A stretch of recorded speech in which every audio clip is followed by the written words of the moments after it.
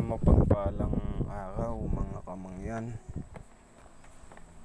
Madami tayo ngayong mga ano, mga tamilok. Meron din tayong mga mga ano, mga mutya ng engkanto na buo ang gabay. Ayan po. Yung mga tamilok natin na mga sulit na talaga pong ito ay napakainam na gamit. Solid po siya. Ayan. Madami po ito. Madami po. Yan sila. Buo po yan. Wala diyang putol. Mga kamangyan. Mga buo po siya. Ayan. Mapapansin nyo. Ayan po. Ayan. Dami po yan. Maliit, malaki mga tamilok natin na bago. At ito pong pakikita ko sa inyo ay ano po yan. Mutya po ng taklobo. Kabibe na itim. Yan ng kaibigan kong mangingisda. Ayan po, taklobong itim. Hindi po siya batong umong itim. Nakuha po siya sa kabibe. O taklobo. Yan. Ito po ay tago sa ilaw. Hindi nyo po siya masasabing jolen. Kasi po ibang klase siya at wala pong jolen na ganyang itsura. At wala din pong jolen na ganyang size. Sa naniniwala lang po mga kamangyan. Ayan itry natin na pailawan. Para makita nyo din na yung gamit ay hindi po hindi po siya peke. Ayan sa naniniwala lang po pansarili ko pong gamit yan. Pinakita ko lang. Ayan meron siyang parang buo buong tubig sa loob. At meron din po tayo dito ng mga gamit na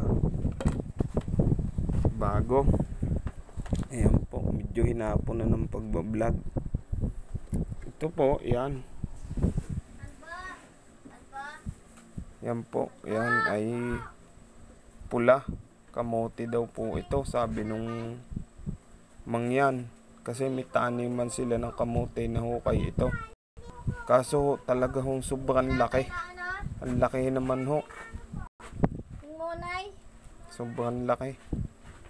Pero mainam po yung ganito sa negosyo.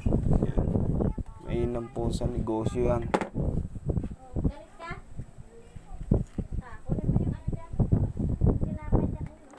At sa sa sa mga ano po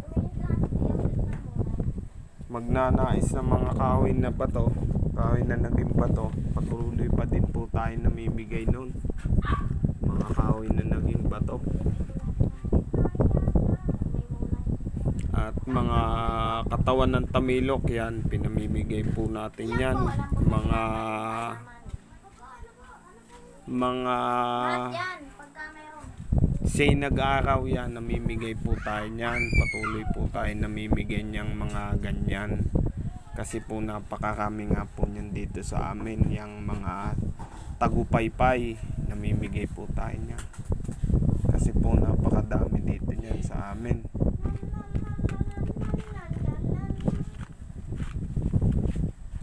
Ito naman po, yan. Ito, bali, ginagamit ko pong sangkap ito. Yan. Ito po ay susong crystallized, solid. Solid po yan. Itry natin sa ilaw uli. Siya po ay solid na crystallize talaga na libon. Yan po ay tagos talaga sa ilaw. Ayan, sabi ko nga sa inyo. Ayan, kita nyo naman. Kitang kita yung loob niya. Ayan. Libon po yon. Bali ito pong isa. Ayan, kabibe. Crystallize. Sayang po ito kasi siya ay siya ay nabiak kaya ang gagawin ko na lang po sa kanya ay pakagawin ko na lang siyang sangkap sa pangkabal nagarapa ayan po siya oh. Masyadong maliwanag ang ating ano kaya hindi makita ng ayos. Try din natin pailawan. Siya po ay solid na tago sa ilaw ayan. Sayang nga lang po kasi nabasag ayan. Siya po ay gagamitin ko na lang sangkap sa mga ano gagamitin ko na lang pong sangkap sa mga garapa na gagawin ko. Ayan po mga bagong kalap na tamilo. Puro ulo po yan. At pakita ko po yung bago kong gamit na gawa. Ginawa ko po ito. Ito yung daladala ko lagi. Ayan. Ito po yung sinukuan ko. Yan sinukuan po yan dignum sinukuan ito po yan yan po ay napaka halaga sa akin yan kasi po matagal na ito sa akin ito ito naman po dignum bakal ayan Roma. Pinagsama ko sila bale. Ito po yung ginagamit ko ngayon. Sinusuot ko pang kaligtasan po. At sa pagkat sa mga tao na kilala yan, nagagamit ko po ito. Yan gamit na yan. Ito po yung sinusuot ko ngayon. Shoutout po pala sa mga kaibigan nating mga vlogger, sa mga manunood. Yan Shout out po sa inyong lahat kay Alagaling Chow Agner, kay Arnel Lotos, kay kay Tony Pueda, yan. Mga tropa ko po yan. Uh, at shout out din po kay Mucha TV Vlog, kay Nakis TV, yan. Kay pangalan nga nung nalimutan ko na palibasan ngayon na lang uli kasi ako nag vlog yan kay Ramswans. Yan Long Librad at sa lahat po ng hindi ko nabanggit ay sinashoutout ko po kayo.